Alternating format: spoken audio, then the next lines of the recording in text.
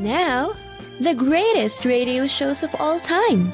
Suspense. The Shadow Node. Washington calling David Harding, counter spy. Classic radio theater. The Great Gildersleeve. Fibber McGee and Molly. Dragnet. Gunsmoke. The Lone Ranger. Now, step back into a time machine with your host, Wyatt Cox. Good evening, friends of the inner sanctum. The Phil Harris Alice Faye Show this hour, as it was originally broadcast back on November 26, 1950. Phil and Remley were going to go to the big game, but.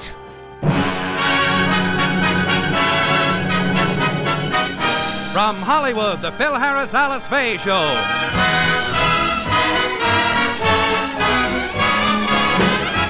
For your enjoyment, here is the Phil Harris Alice Faye Show, written by Ray Singer and Dick Chevillat, with Elliot Lewis, Walter Tetley, Robert North, Jeanine Roose, Ann Whitfield, Walter Scharf and his music, yours truly, Bill Forman, and starring Alice Faye and Phil Harris.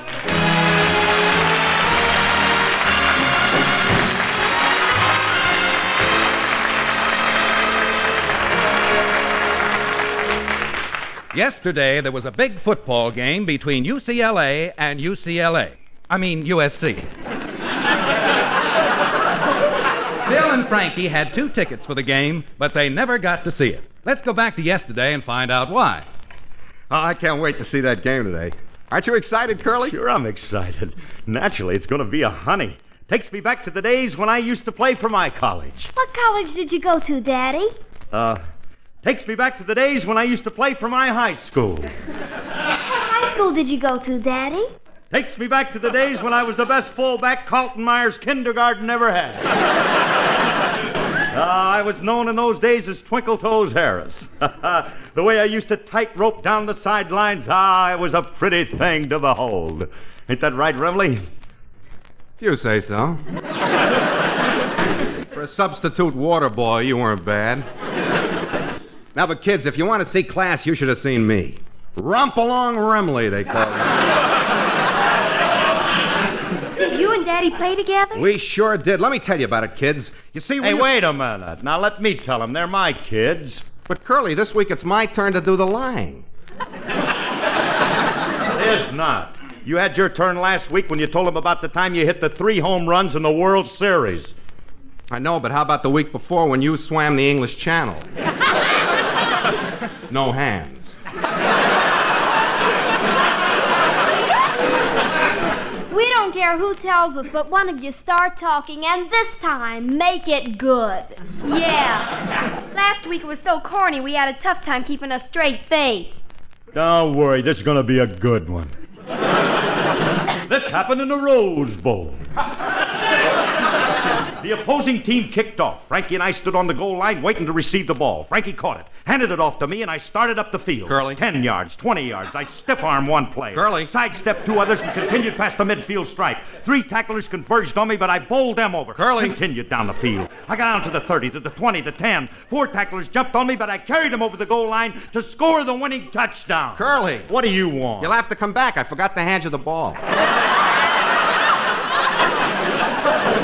If you forgot to give me the ball, what was I carrying under my arm? Your other head. what kind of story is that to tell him? You kids better run along. Your father ain't in very good form today. Okay, I've heard enough anyway. Me too. Come on, Phyllis. Let's go down to the corner and have a beer. Yeah, you kids. What?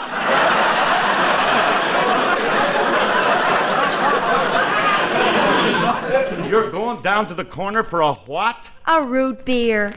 See you later, Daddy.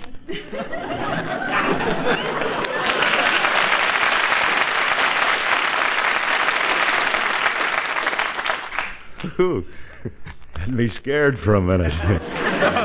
Hey, did you get the tickets for the game, Curly? yeah, we're supposed to pick them up at the box office. Hey, we're lucky to get these two seats. Phil, what were you two fellas telling the girls about your having played football? I wish you wouldn't fib to them. What fib? We did play football, didn't we, Frankie? Of course we did. I'll never forget the time I starred in the Rose Bowl at Pasadena. It was on New Year's Day, and I zigzagged all over the field avoiding tacklers. Isn't that right, Curly? Yeah, with a few corrections. The zigzag you were doing. But it wasn't New Year's Day, it was New Year's Eve. and it wasn't the Rose Bowl in Pasadena, it was the hotel lobby in Milwaukee. the only guy trying to tackle you was the house detective. hey, Alice, he wasn't the star of that game. I was. Which game? The one in Pasadena or the one in Milwaukee? The one in Pasadena. uh, that was that day I made them 12 touchdowns. They couldn't lay a hand on me, and small wonder. Uh, in those days, I had the speed and grace of a gazelle. Gazelle, you say?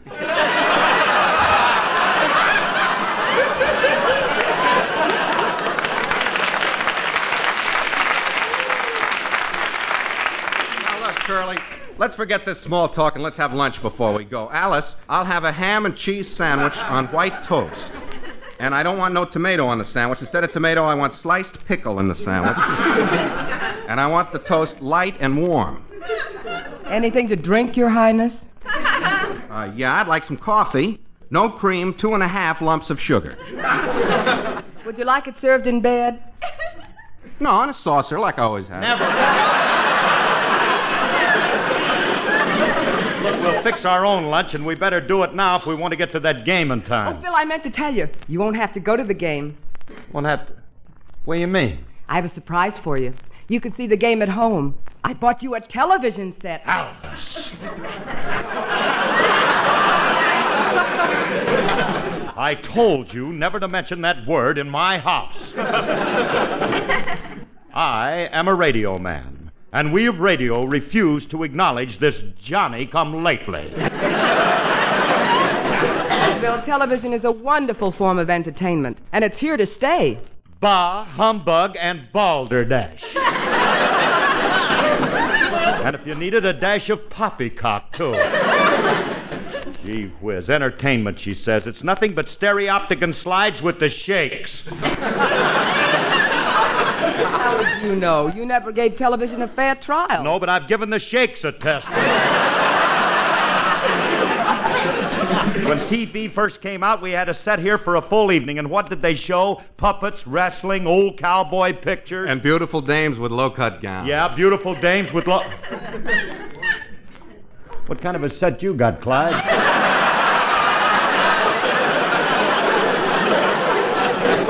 You know, they have some wonderful shows on television today. Educational programs like Shakespearean dramas, child psychology, political forums. Ina Ray Hutton and Dagmar. They're educational.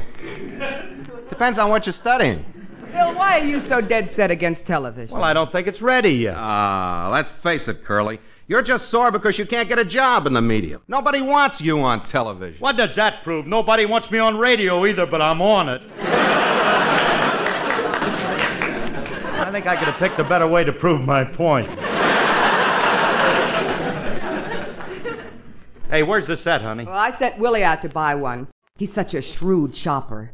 I think you'll change your mind when you watch some of the programs, Phil. All right, all right, so I'll give it another chance. Hey, Remley. Yeah? Call the Coliseum and cancel our tickets. Okay. Honey, honey, I know you'll like television once you get used to it. There are some wonderful artists on television. Good comics, dramatic stars, and some of the female singers are beautiful.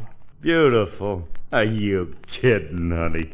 They won't see anything until they've seen you. Oh. That's when they're going to see it. Because you're my idea of a beautiful singer. Oh, thank you, dear. I... Wait a minute. What are you leading up to? The same thing you're leading up to, your song. Thank you, dear. And while Alice sings her song, we'll take a quick break. November 26, 1950, the Phil Harris Alice Faye Show on Classic Radio Theater with Wyatt Cox. Classic Radio Theater with Wyatt Cox. Alice has finished her song, so back to the Phil Harris Alice Faye Show, November 26, 1950. Curly, I canceled the tickets. You know, I've just been thinking it probably will be better to watch the game on television than to go out there. Oh, of course it will. I told Willie to buy a set with a large 21 inch screen. 21 inch. Uh huh. Woo-hoo. Hey, that'll make it almost lifelike. You know, Remley, that'll be great for watching them line plays. You see, when they start. Here I am, everybody. I bought the set. Oh, Willie, you dove you. I can't wait to see it. Where is it, kid? Right here under my arm. Under your. Under your arm? What kind of a set did you get? Alice told you to get a 21 inch screen. Oh, nonsense. The size of the screen is unimportant. This is the best second-hand portable set that money can buy.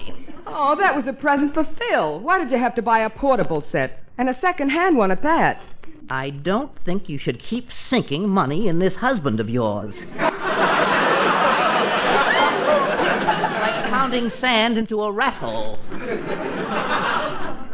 Besides, this has a good-sized screen. I'll open the cabinet door and show you. There. How do you like it? Take it back. It's damaged. It is not. Then what's that small piece of adhesive tape right in the center for? That's the screen. Oh, goody. We get to see Faye Emerson in a plunging band-aid. Hey, Willie, how can you be so cheap buying a set like that? Hey, Remley, take a look at that thing. Have you ever seen anything like that? Anything that small in your life? Not since you gave me my last paycheck. Oh. Don't be sarcastic, fellows. You get a, a, a wonderful picture on this set. I'll just plug it in and show you. There. Now I'll just turn it on, adjust the picture. There we are. Oh, it's a beautiful picture. Uh, let me see it. You'll have to get in line, honey. All this thing can handle is one eye at a time. Philip, look at that nice large picture. You couldn't get a better. A be- uh, oh dear, there's something mechanically wrong. The picture blacked out. Oh, I'll fix it, Willie. There. Oh, the picture's back, Philip. How did you do it? It was easy. I just brushed the fly off the screen. Oh, Alice, we can't watch a football game on this screen. We'll all go blind. Come on, Remley. We're going to the Coliseum and see that game. We can't, Curly. When I canceled the tickets, they said there were no more available. Oh, well, we can't get tickets, and now we can't see it on television. We can still see it on television. How? All you have to do is go out and buy a 21 inch screen. Uh, They're very expensive. Now, if you know where to go, I can get one a lot cheaper. Now, where are you going to get one cheaper? I know a guy. Follow me, Curly. All right, all right.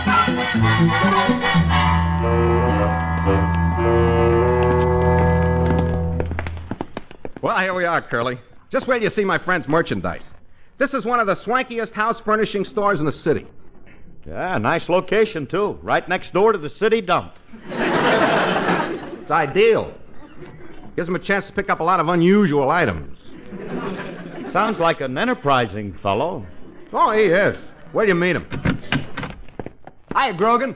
Well, Frankie, hiya, pal.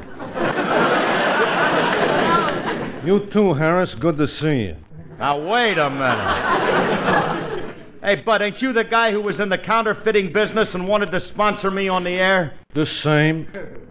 I hated to give that business up, but I had to. The government complained. Oh, I can't imagine why.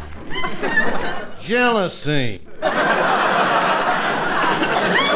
I was turning out better stuff than they were. I made a $5 bill that was a doll. Your money was that good, huh? Well, I ain't one to brag, but once the banks handled my stuff, they refused to carry that inferior merchandise the Treasury was handing out. it was only a question of time before the government went bankrupt, so being a good American, I stepped out. That was a patriotic gesture. Yeah, yeah. Harry was very grateful. Gave me a presidential citation and an autographed record of Margaret singing The Thing.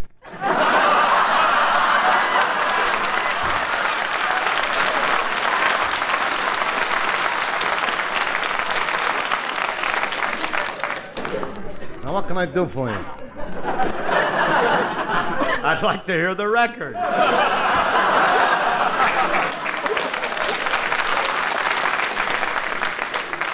Hey, look, Grogan, I want to buy something, but uh, before I do, are you sure that this is a legitimate business? Well, naturally, this is a legitimate business.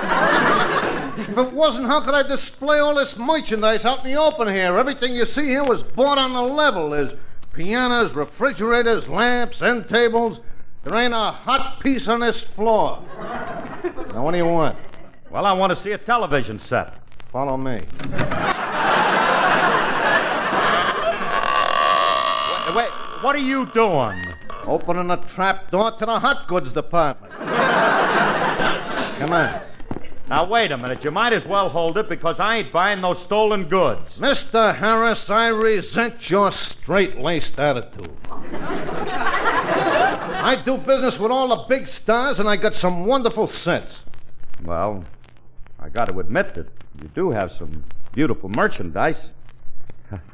That's a nice looking set over there. Well, it should be. It was custom made for Bing Crosby. How'd you get it?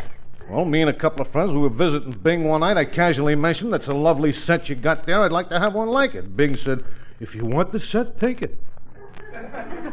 Bing told you to take it just like that? Yeah, yeah. It's amazing, ain't it? Two guys with me were so surprised they almost dropped their guns.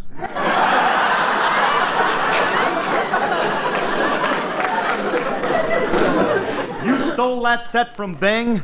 Oh, Everett's gonna hate you. Look, Grog, I told you I don't want to buy no stolen goods. Well, all right, if you're going to be picayune about it.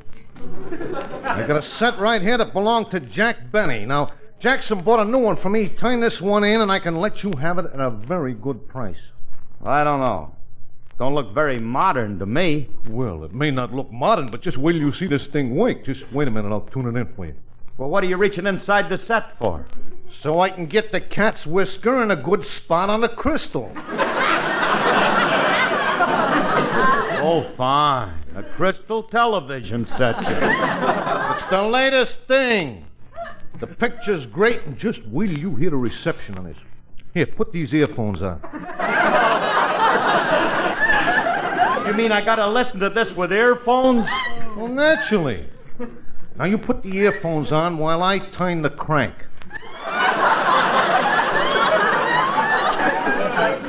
What's the crank for? You want the pictures to move, don't you?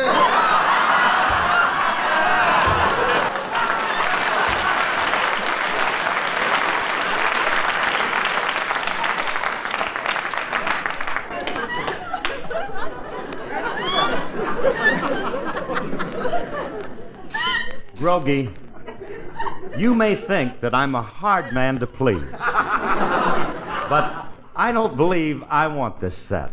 I don't blame you, Curly. I've come to the conclusion that you shouldn't buy a set. Then how are we going to see the game? We'll buy a kit and build our own set. Build our own with a kit? Now that appeals to me. Buying a kit is cheaper anyway. Sure. Once we get the set built, it'll be just like being at the game. We'll see all the plays, and at halftime we'll see the card stunts and hear the band playing and those college kids singing, and we'll. Holy smoke, Frank. Thanks for reminding me. Of what? I haven't sung yet. What's that? Automatic pitch pipe. Uh huh.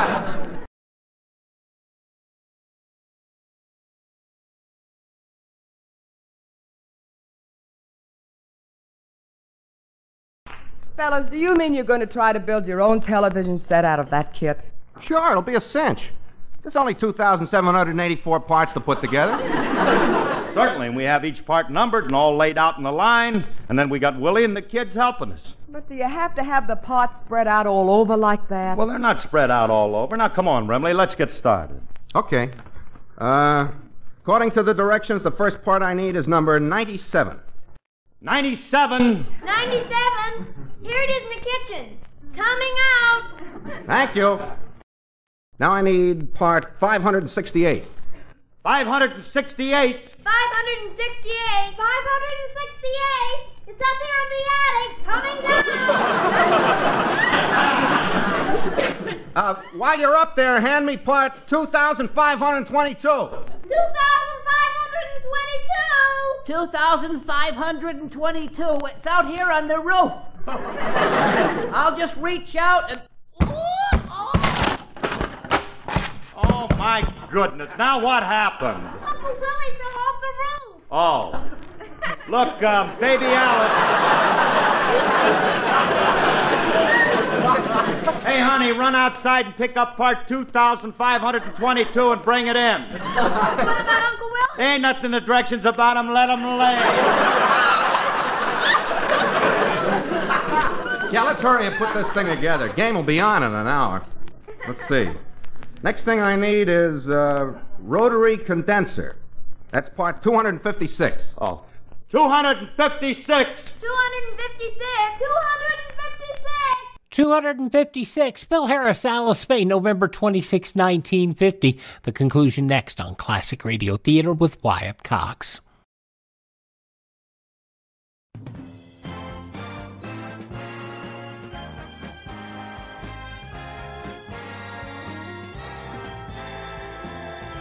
Now on Classic Radio Theater with Wyatt Cox, the conclusion of the Phil Harris Alice Faye Show, November 26, 1950. Philip, I've got a wrench sacroiliac. Sorry, we can't use it. We're looking for a rotary condenser. Thanks very much. It's fine. Look, there are too many people trying to help. You all beat it. Leave this to Curly and me. Look, Curly. It's too much trouble running all over the house to get the parts. Let's do it systematically. Let's start at the beginning of the line and put the parts together as we come to them. Yeah, that'll do it. Well, let's get started.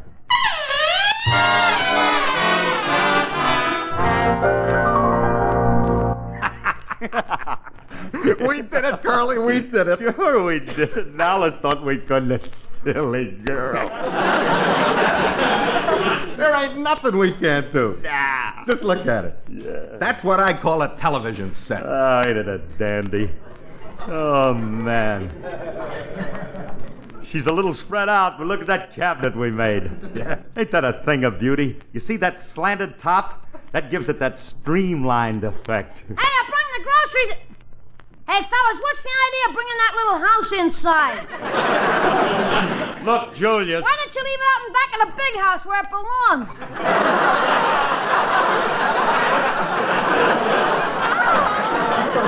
Why don't you beat it, kid? I will, as soon as you verify a rumor that's been sweeping the country. What rumor? Is it true that Mr. Remley is the thing?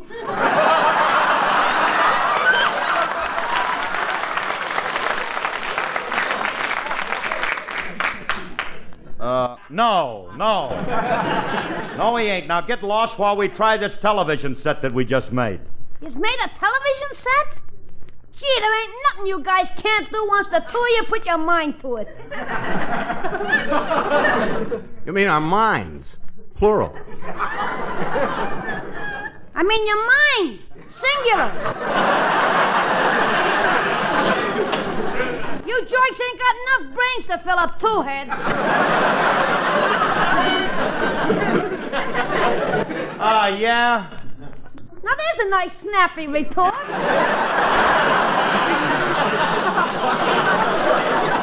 Look, kid, I'll have you know we did a great job on this set. We haven't tried it yet, but I'll guarantee it'll work. This I gotta see. Okay, this you're gonna see. hey, Remley. Huh? Crawl under the cabinet and turn the picture on. You got the controls under the set? That's so the kids can't mess around with it. Okay, the set's on, Curly, and it's working great. How can you tell? You got the screen under the set, too? Of course not. Where have you got it? I'm anxious to see it. Look. If you'll just step in the kitchen, I'll show you the clearest picture you ever saw. How's the sound, Curly? I don't know. I'll go in the dining room and listen. You got the controls in the den, the picture in the kitchen, and the sound in the dining room? Fellas, I don't like to be inquisitive, but what's in the bathroom? Alice,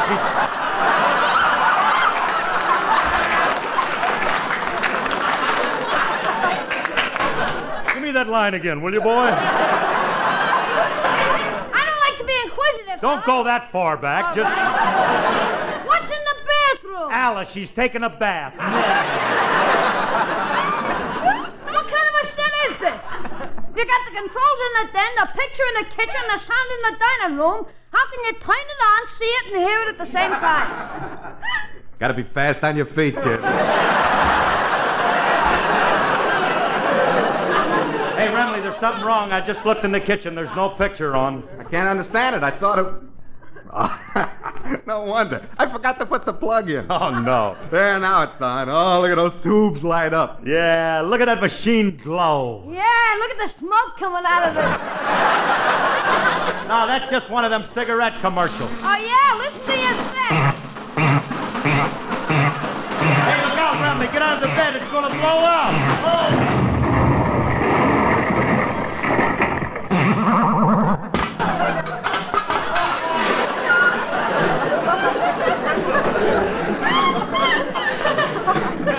Ladies and gentlemen, the rest of this program will be broadcast in the open air.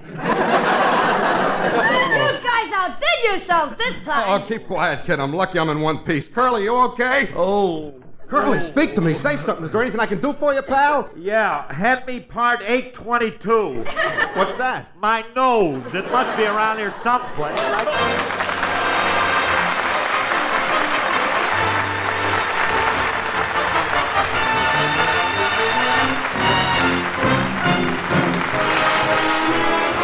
November 26, 1950, Phil Harris, Alice Faye on Classic Radio Theater with Wyatt Cox. Now on Classic Radio Theater with Wyatt Cox, what has become an annual tradition, beginning of the Cinnamon Bear, the Christmas serial that was originally broadcast back in 1937. This episode, November 29th, 1937.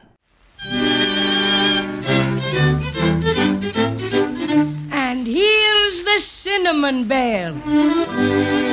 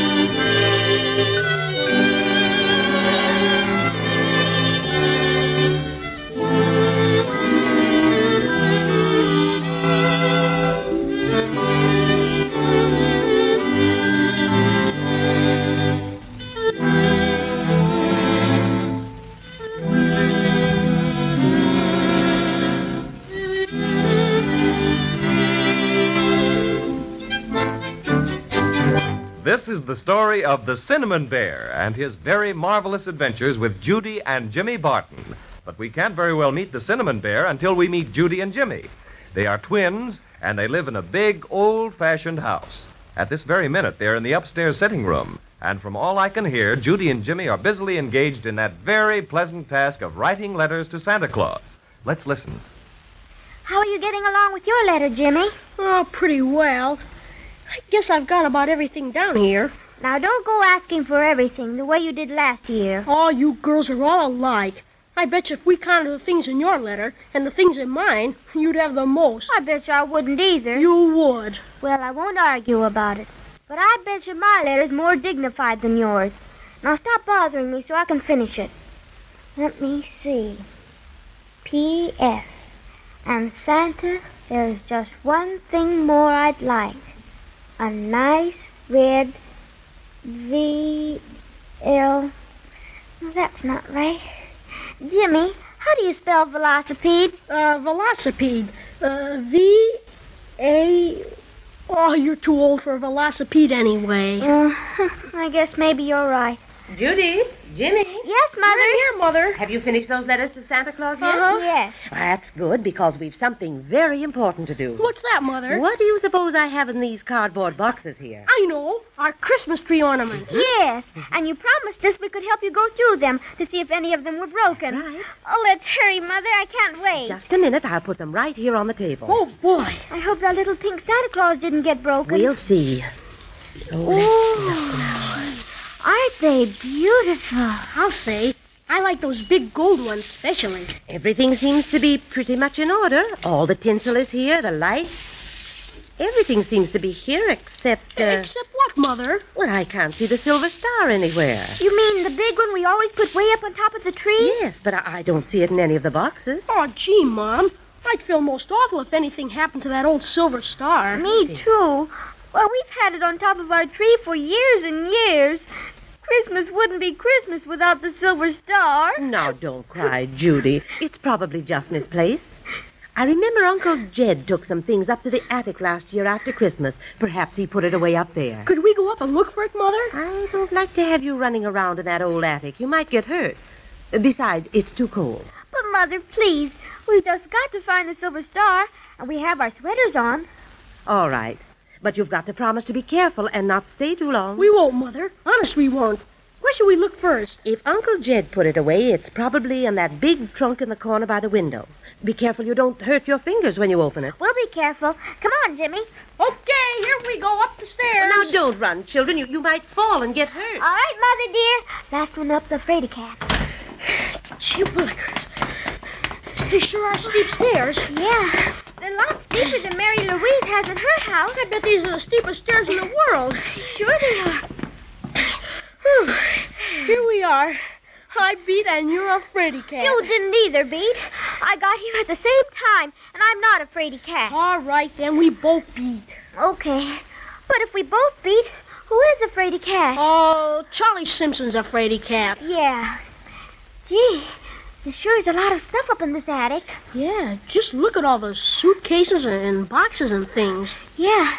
And there's that old spinning wheel and the music box. And Oh, Judy, there's the old trunk Mother told us to look in. must be awful full of things. The top is enclosed all the way down. Well, you get on one side, Judy, and I'll get on the other. And then we can both lift at the same time. All right, Jimmy. Gee, that was kind of heavy. Oh, look, Jimmy. There's one of those old crazy quilts right on top. Take it off and we'll see what's underneath. Okay. There. Mmm. Smells like mothballs, doesn't it? Uh-huh. Do you see the silver star anyplace? Uh-uh. Just a lot of old clothes and stuff. Let's lift this top thing out. Come on, Judy, help me. All right. Now, let's see. Say, here's a small box of ornaments. Uh, but they're all broken, Jimmy. And the silver star isn't there. Gee, here's one that's not broken. It's a pretty little airplane. It's made out of gold glass or something. We'd better take that downstairs with us. Why don't you put it someplace where it won't get broken? I'd better, I guess. I'll just set it on top of this old dresser here. Find anything else, Judy? You bet. Look at this, Jimmy. A little teddy bear with a green ribbon around his neck.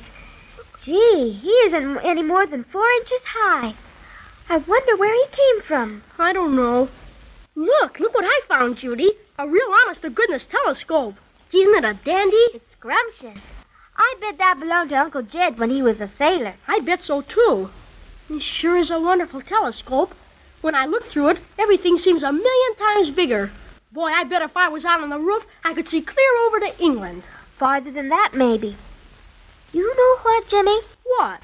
This teddy bear is the teeniest one I've ever, ever seen. Sure is. Uh, say, Judy, I bet if we looked at him through this telescope, he'd be a lot bigger. Let's see, shall we? I'll lean him against the back of the trunk and you look. All right. Now, just wait till I get it fixed. Jiminy crickets! What do you see, Jimmy? Willikers! He looks bigger than anything. Take a look, Judy. Let me see. Goodness! He is big, isn't he? Why, he looks almost as big as we are, only he really isn't. If you'd move over a little, Judy, we could both look at the same time. There. That's it. Can you see him? Plain as day. Judy. Judy, he moved. The bear moved. Didn't you see him moving? I thought I did, but Sure he moved. Gosh, Garra. Judy, listen. He made a noise. Maybe it was just a creaky board. No, it wasn't any creaky board. It was that bear. And I'm going to talk back to him. Oh, Jimmy, maybe you better hadn't. Oh, don't get scared. He can't hurt you. He's really only four inches high. Hey, you, you teddy bear. Garoo. Oh, Did you hear him, Judy? Did you hear him? He growled at me. ooh, he did, didn't he? Say, Jimmy, ask him he, if he's a really, truly live, real bear. All right. Hey, teddy bear, tell us, who are you? I'm the cinnamon bear with the shoe button eyes, and I'm looking for someone to take by surprise. I go prowling and growling each night after dark, but the folks say my growl's just a cinnamon bark. Though I growl, Garra. and I growl, Garoo. my victims only say, Oh, who's afraid of you? I'm the cinnamon bear with the shoe button eyes, and I'm huffy and fluffy and tough for my size. I devour lots of honey and cinnamon buns just to make me ferocious, but nobody runs. Now I'll growl, Garra. and I'll growl. Garoo. And if you'll act afraid, I'm much obliged to you. oh, that was wonderful, Cinnamon Bear. Garra. Jimmy, let's pretend we're really afraid, huh? It'll make 'em feel good. Oh, all right. Oh, don't give us a scare like that again, Mr. Bear. Garra. Oh, Judy, I'm scared. Garoo. Oh, Jimmy, hold my hand tight. Sure, and did I really frighten you? Terribly. You just about scared the daylights out of us. Well, I promise not to frighten you any more. That is, not until me ferocious nature gets the better of me again. Now, would you be kind enough to tell me your names? I always keep a record of the people I scare. I'm Jimmy. And I'm his sister, Judy. I'm much obliged to meet you, I'm sure. My name's Paddy O'Cinnamon. That sounds Irish. Uh, sure, I'm slightly Irish. That's why I wear this green ribbon around me neck. But tell me, what are you two doing up here? Well, we lost the silver star that goes on top of the Christmas tree. Have you ever seen it, Cinnamon Bear? A silver star? Did it have five points? I, well, I think so. Sure, I've seen it lots of times. Oh, show us where the silver star is, Cinnamon Bear. Oh, it's not here now. It's it's gone. Gone? Oh, dear. What shall we ever do now? Well, who took it? Why, the crazy quilt dragon, to be sure. Who is he? Oh, just a dragon. Not a very good one at that. He's terribly fond of shiny, bright things. Every day for the past month he's been running into the trunk to admire the silver star. And this afternoon it got the best of him, I guess. He just upped and ran off with it. Oh, oh now we'll never, never see the silver star again. Here, here, now, don't carry on like that. You can get the silver star back. Well, maybe. How? By going after the crazy quilt dragon. Chase him. I'll help you. Will you really? Oh, sure I will. Crazy Quilt's no great friend of mine, and besides, you were both very obliging and got perfectly terrified when I growled at you. Oh, you're the most wonderful cinnamon bear in the whole wide world. It's very nice of you to say it. Well, if we're going to catch up with the crazy quilt dragon, we better get going. Where do you think he went, Paddy?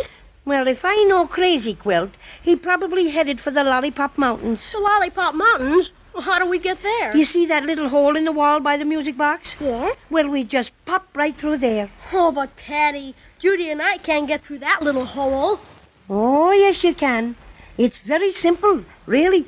All you and Judy have to do is degrow. What do you mean, degrow? Oh, just degrow. Get smaller and smaller and smaller until you're only four inches high, like me. Gosh, we can't do that. Why, it's impossible. Nothing's impossible. I can show you how to do it in a jiffy. Phew, that sounds most magical. Willikers, show us how, Paddy. Quick. All right. Now listen very carefully, and I'll tell you how to degrow. Well, well. If the Cinnamon Bear can show Judy and Jimmy how to degrow until they're only four inches high, then as Judy says, it really will be most magical. And maybe they'll be able to catch the crazy quilt dragon and recapture their precious silver star after all. Anyway, be sure to listen next time and find out just how the Cinnamon Bear manages to make Judy and Jimmy only four inches high. The delightful Christmas children's serial, The Cinnamon Bear, uh, from November 26th, 1937, here on Classic Radio Theater with Wyatt Cox. Uh, contact Ted at radiomemories.com. He can supply the shows for you on cassette, CD, or flash drive for your computer, and he does lots of other shows too. He restores all of them to the best quality possible. That's Ted at radiomemories.com.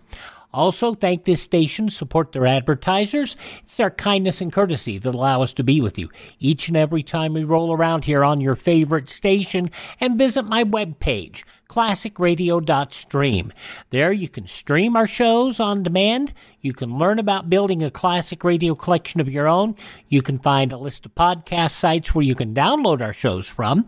You can also find our social media links there, and you can also buy me a coffee. That buy me a coffee money helps us not only acquire additional classic radio collections to bring to you here on this program, but also allows us to uh, keep this show going and expand our reach.